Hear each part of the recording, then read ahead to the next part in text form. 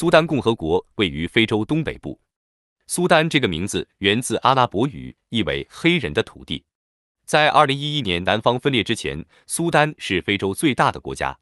苏丹历史悠久，早在公元前七千年，中石器时代的非洲人就生活在现今苏丹首都喀土穆附近。到公元前五千年，来自撒哈拉沙漠的移民把农业带到了尼罗河流域。在接下来的几个世纪里，随着文化的大融合，产生了一种新的社会等级制度。公元前一七零零年，苏丹地区出现了库什王国。人类学和考古学研究表明，史前苏丹时期，努比亚人和当时的古埃及人在种族和文化上几乎是相同的。因此，在公元前三千三百年左右，他们几乎同时进化出了法老王权制度体系。公元前八世纪，库什王国征服了上下埃及地区，埃及由此进入第二十五王朝时期。五十一年后，亚述大举入侵库什。到公元前六百六十一年，亚述将库什王国的势力逐出了埃及。公元前五百三十年左右，库什将都城南迁至麦罗埃，此时的库什王国又被称为麦罗埃王国。在麦罗埃时期，库什利用当地丰富的森林资源，发展了炼铁业。此后，库什将注意力转向南方。公元前二十三年，罗马帝国为了报复库什在七年前对上埃及的入侵，出兵入侵了努比亚地区。经过努比亚人的顽强抵抗，罗马最终选择了撤军。到公元三百五十年，崛起的阿克苏姆王国占据了麦罗埃首都，麦罗埃地区由此成为阿克苏姆王国属地。公元五世纪初，布莱米人在上埃及和下努比亚建立了一个短命的国家。到四百五十年，他们就被诺巴提亚人赶出了尼罗河谷。六百四十一年，拉什顿哈里发的阿拉伯穆斯林征服了埃及。之后，他们发兵进攻了努比亚地区。经过激战，努比亚成为少数几个击败阿拉伯人的民族。从八世纪中叶到十一世纪中叶，信奉基督教的努比亚经历了黄金时代，其政治权力和文化发展都达到了顶峰。一千三百六十五年，一场内战迫使马库里安王朝逃往下努比亚，而东古拉地区则被阿拉伯人占据。到一五二六年左右，奥斯曼帝国占领了萨瓦金。并沿着尼罗河向南推进。一五八五年，奥斯曼人试图占领东古拉，但被分级军击退。之后，位于尼罗河第三大瀑布区以南的汉尼克成为两国的边界。到一七一八年，分级苏丹国因政变而出现了王朝更迭。一七一八年的政变开启了推行更正统的伊斯兰教的政策，这促进了苏丹的阿拉伯化。十九世纪初，穆罕默德。阿里将埃及从一个被忽视的奥斯曼帝国省份变为一个几乎独立的国家。阿里复制了中世纪马穆鲁克前辈的做法，试图将埃及边界向南扩展到苏丹。一八二一年，阿里儿子指挥的埃及军队征服并统一了苏丹北部。尽管埃及在十九世纪的大部分时间里宣称拥有苏丹全部领土，并在苏丹南部建立了一个省份以实现这一目标。但埃及无法对苏丹建立有效的控制。在埃及统治后期，苏丹部分部落皈依了基督教。1881年，一位名叫马赫迪的宗教领袖利用埃及管理不善造成的局面，发动了起义。四年后，马赫迪突然逝世，阿卜杜拉随后继承了马赫迪的权位。在他领导下，苏丹吞并了埃塞俄比亚。由于连年对外战争以及1889年的饥荒，导致阿卜杜拉失去了民心。阿卜杜拉对埃及的进攻加速了他的衰亡。一八九九年，英国和埃及达成协议，苏丹由埃及经英国同意任命的总督管理。为了长期控制苏丹，英国殖民者对苏丹南北方实行分而治之的政策。当时，苏丹南部被定为封闭区，禁止苏丹北部人进入。这种殖民政策为以后的南北纠纷埋下了祸根。一九一六年，英国政府怀疑苏丹受到奥斯曼帝国政府的影响。于是，从埃及发动远征，占领了达尔富尔。英国殖民政府将财政和行政资源分配给喀土穆附近的苏丹中部部落，而达尔富尔等偏远地区则基本被忽视。第一次世界大战后，苏丹民族解放运动逐渐兴起。在民族解放运动的压力下，英国殖民当局于1944年成立北苏丹咨询委员会。三年后，英国殖民政府又成立了立法会议和行政委员会。但总督权力却凌驾于二者之上，这引起苏丹多数政党的反对，然而，英国利用苏丹两大政党间的矛盾，使独立运动又一次受阻。一九五二年的埃及革命宣告了苏丹独立进程的开始。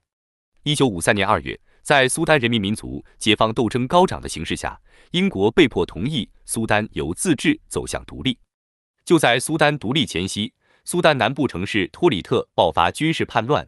虽然叛乱很快被镇压，但这却标志着长达十七年的第一次苏丹内战的开始。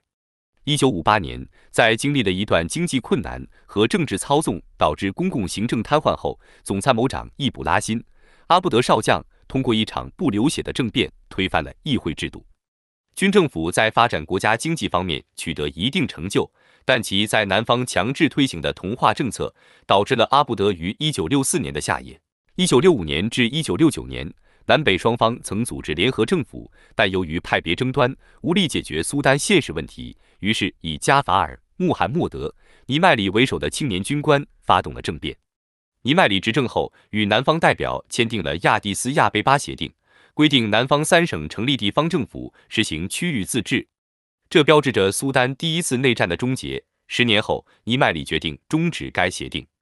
同年九月，尼麦里决定在苏丹全国实施伊斯兰法。九月法令引起了由非穆斯林为主体的南方人的愤恨。同年年底，苏丹爆发了第二次内战。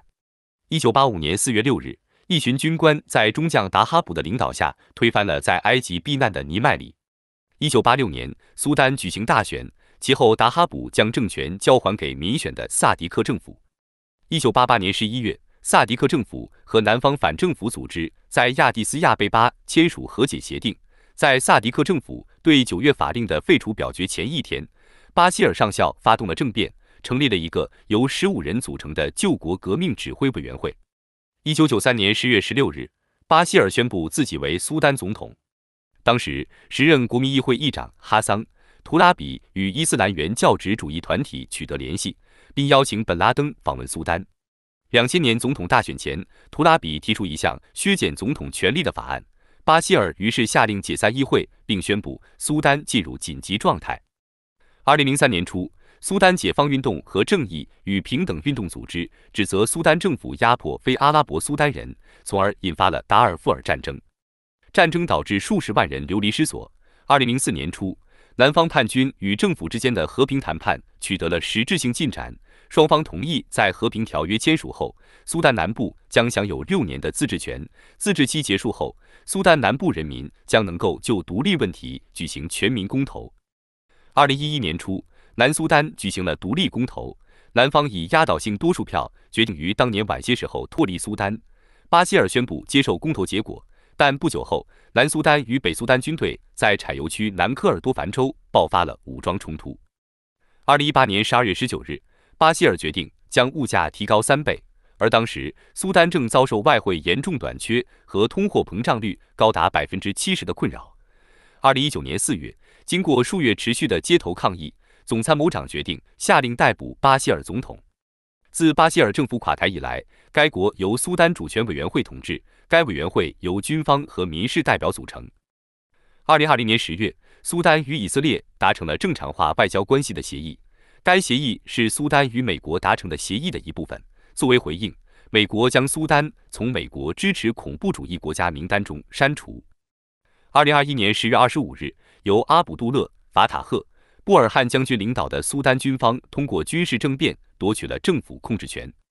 文职总理哈姆杜克拒绝宣布支持政变，面对国内外的阻力，布尔汉恢复了哈姆杜克的总理职位。二零二三年四月。在讨论由国际社会斡旋的向文官统治过渡的计划时，苏丹军政府的两个对立派系在首都喀土穆和达尔富尔地区爆发了战争。世界粮食计划署于二零二四年二月二十二日发布的报告称，苏丹百分之九十五以上的人口每天吃不起一顿饭。平心而论，苏丹境内的自然资源相当丰富，具备发展经济的优势条件。其中，苏丹已探明的石油储量为十六亿吨。天然气储量为六十五亿立方英尺，金、银、铜、铬、钻石等矿藏的储量也相当可观。然而，由于常年动乱，导致苏丹始终无法摆脱一贫如洗的窘境。截至二零一八年，苏丹贫困率超过百分之五十。根据联合国开发计划署公布的二零一九年度人文发展指数，苏丹在一百八十九个国家中排名一百六十八位。近年来，苏丹政府努力改变财政严重依赖石油出口的情况，将发展农业作为长期战略，同时逐步加大对基础设施以及教育、卫生等民生项目的投入力度，从而有效地控制住恶性通货膨胀，使得经济出现复苏势头。但因为战争，二零二三年苏丹谷物产量比上一年减少了百分之四十六，许多地区粮价比冲突之前上涨了二到三倍，缺少医务人员干预。加上流离失所者的无序流动，疟疾、霍乱、登革热、麻疹等传染病正在苏丹大范围传播。苏丹要想彻底摆脱贫穷，恐怕还有相当漫长一段路要走。